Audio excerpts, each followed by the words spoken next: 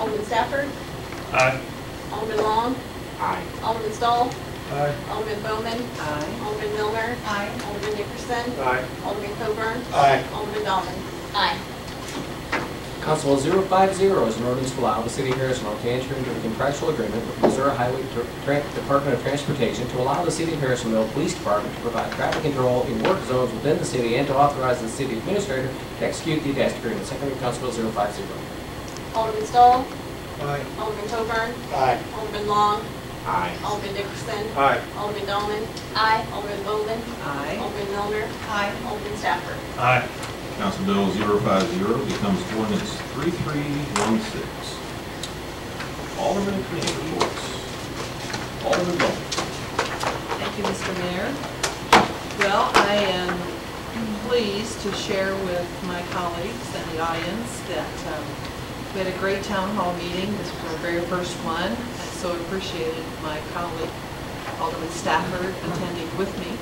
There were 20 people that attended the town hall meeting, and they engaged in conversation with us for two hours and 25 minutes and asked lots of questions and expressed a lot of interest, and I was very encouraged to see that. There were people from all over the city, not just Ward 1.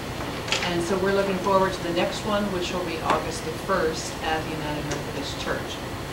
Um, I was also privileged to be able to attend the Missouri Municipal League Conference with my colleagues, and we spent Thursday and Friday there learning um, how to be elected officials. So it was, it was a great time. As I was driving home, I received some exciting news that um, there is a trust that is out of Kansas City that is heavily involved and interested in the Prairie Foundation and the preservation of prairie grass.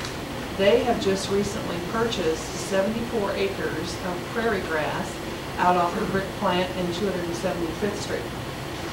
Um, Details are not disclosed yet of what they're going to do with that land, but I think it opens up great tourism opportunities for us among other things. So I'm excited whenever anybody wants to purchase land in and around our city.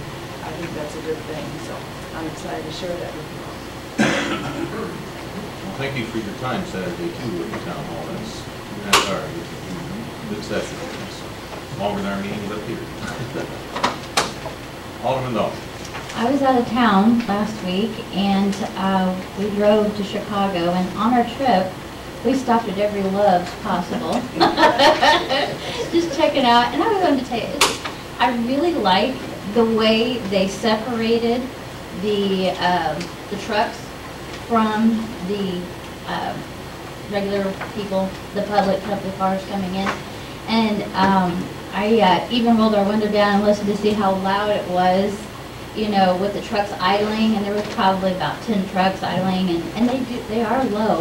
I mean, I don't know, this is an observation I thought I would, you know, for real listen to, see if it was. But I really like the separation. You had to literally go into two different entrances.